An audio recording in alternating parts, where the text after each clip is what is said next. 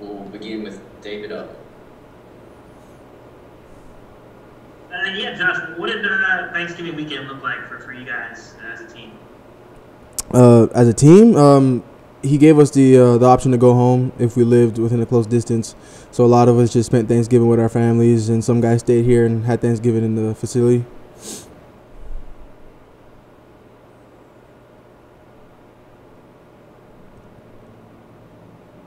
Uh, we'll go to Jimmy Hyams and Josh, you've only had a couple of games in like a five-week period. Has that been difficult to adjust to that? Um, a little bit. You know, you get used to running a lot, and then when you get a lot of time off, it doesn't really um, it's hard to get your legs back. But I feel like with the with the breaks, um, we've been able to get our legs back under us, running a little bit more. Uh, especially this past week, we ran a little bit more. But I mean, you know, we just come out to practice and we work hard, and that's what we do here. So a lot of the time, it works out. So we should we should be good for game day. On the flip, on the flip side, I wonder if you would have fresh legs going into this last three-game stretch. Uh, yeah, I would say so. Like like I said before, the only difficult part is when you're not running and getting your legs back. But once you start running a little bit more, you start to get your legs back. So, you know, we've been starting that this week, so it should be it should be good on game day. Gustavo. Josh, you played against Florida three times. It's your senior year. How special is to play against Florida at home? And I imagine you definitely feel this game you want to beat the rival. Yeah, I've always wanted to beat them. I never really understood the rivalry when I first came here as a freshman, but throughout the years, I've I've grown to, you know, dislike Florida, but in a, in a friendly way, in a in a competitive way. But it's always exciting to play Florida, and I look forward to the game. We'll go to Rob Lewis, then Rick Russo. Hey, Josh, with you know so much practice time and, and so few games in, in the last three or four weeks, where do you feel like the offense has maybe made the most improvement? just understanding the game plan. We've had a lot of time to really sit down with Chaney and him just explaining to us the whys and why we're doing certain things and how we're supposed to do them. So uh, I think with a lot of this time off, we've been able to understand what he wants out of us. Josh, how, how frustrating has it, two questions, how, how frustrating has it been, you know, watching other teams play and you guys not being able to get out there and, and play some football? Number two, the concern level for your teammates who might be going through contact tracing and, and, and the hope that everything's okay and those guys are fine. hmm So to answer your first question, it's, it's a little frustrating knowing that um, that we should be playing and seeing other teams play. But you know, um, I guess it's a blessing in disguise. We get more time to game plan, more time to understand the offense. And to answer your second question, you know, next guy up mentality. Um, you know, the guys, the guys that are out should be back very soon, and we're excited to have them back. But you know, I'm excited to see how the team responds. All right, Patrick Brown, then back to David Ubben. Josh, I know you guys have three games left, but the NCAA, of course, made this a, a free year of eligibility, uh, so seniors could, like you, could come back next season. Have you added, given any thought to what decision you might make about returning next season, or is that something you uh, aren't really considering right now? Uh, I haven't really considered it right now, so I'm just waiting to see how this season plays out.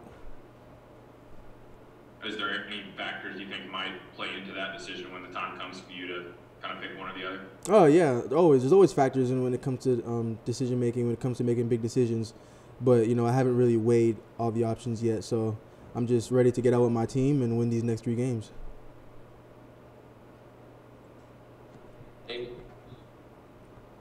Uh, Josh, how would you describe what you've seen from um, Harrison Bailey in practice the last couple of weeks? And uh, secondly, how would you describe the, the mood of the, the team right now? Uh, the fir- to answer the first question, you know Harrison's coming along. Obviously, he didn't get a lot of reps because um, cause of the fall camp and not having a spring. But all the quarterbacks are rallying together. You know, pushing him. The receivers are pushing him. The coaches are pushing him, and you know we're excited to see how he's going to respond. And you know he's responding well in practice, so so that's really exciting to see. And to answer the second question, um, I think our team morale is high. You know, we've been off for for some time. You know, you said two games in the past five weeks. So we're just eager to get back out there and play.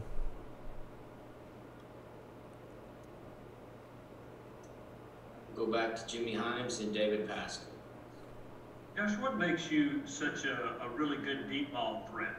What is it about you? Uh, I work on it all the time, every day after practice. You know, I have my um, my my call them my jug guys where they shoot me the jugs every day after practice. Uh, Will and Ben, so I just whatever I feel like I'm weak at, I try to work on it every day after practice, with the quarterbacks, with with the coaches, with anybody I can. Does that come natural to you, or have you had to learn how to uh, maybe high point a ball or locate a ball on deep throws? Uh, athletically, it it came naturally, but you know once you got here, you know the the balls are thrown at different angles. They're a lot harder than it was in high school, so it's always something that I'm working on. I felt like I needed to improve. Josh, when you look at these last several days, LSU, Kentucky, South Carolina, they've all had players elect to opt out. Um, why do you think that, that has not happened at, at Tennessee? Um, you know, I I don't I don't know the reasons for players opting out others at other schools. You know, probably them declaring for the draft and stuff like that. But I mean, I can't really speak for them. But I know for us, we're just we're just really bought in, and you know, we've we've come together as a team, and we're just trying to trying to finish the season strong. You know, a lot of unfortunate events have happened throughout the throughout the year that we didn't expect.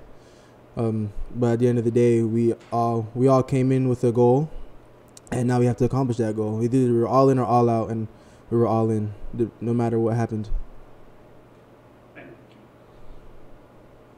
Back to Patrick Brown, then Gustavo again. Josh, how would you kind of assess how, how you played in the season? What are some things that you think you, you've done well, and, and, and were some areas that you, you would like to maybe have back and wish you could maybe perform better in over the past seven games? Oh, man. I probably have a list of things that I wish I could have done better in games. You know, every loss, I feel like there was something I could have done better that would have changed the tide of the game. Um, and stuff I did well.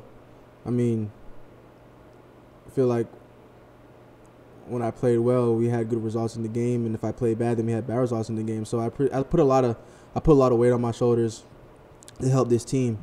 Um, but you know, there's always things I, I need to improve on. So I don't really look at the things I'm supposed to do well because, you know, I'm supposed to do it. You know. Gustavo. Josh, Tennessee has not played at home in six weeks. How much you miss playing at Neyland Stadium in front of your fans? Uh, I miss it. You know, uh, the away games definitely take a toll on the flights, and I'm excited to get back in Neyland and with the fans and play a heck of a game and beat Florida.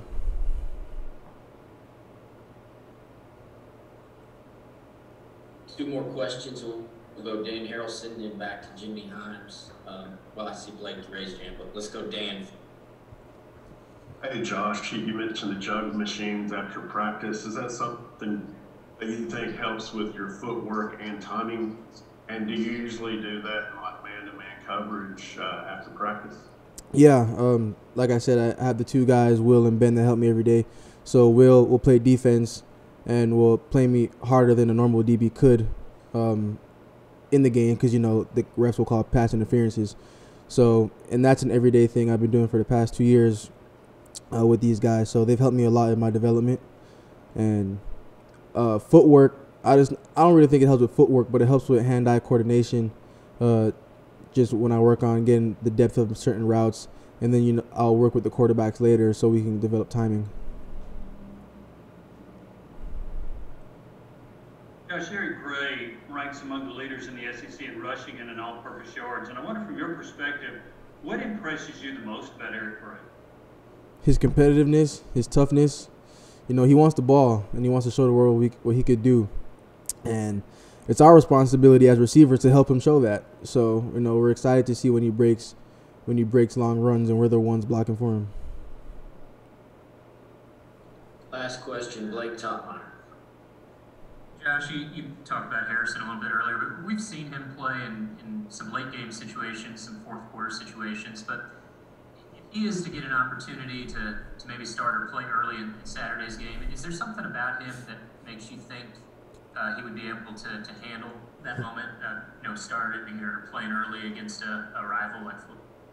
Yeah, you know he's he's calm and cool and collected. So, you know when you see him get put into the game in the fourth quarters, you don't really see him uh, really thinking too much. But I feel like we have a have a good game plan for him, and he's coming along well as a quarterback and as a young guy. So, like I said before, we're just excited to see what he what he shows in the game. All right, thank you, Josh. All right, thank you.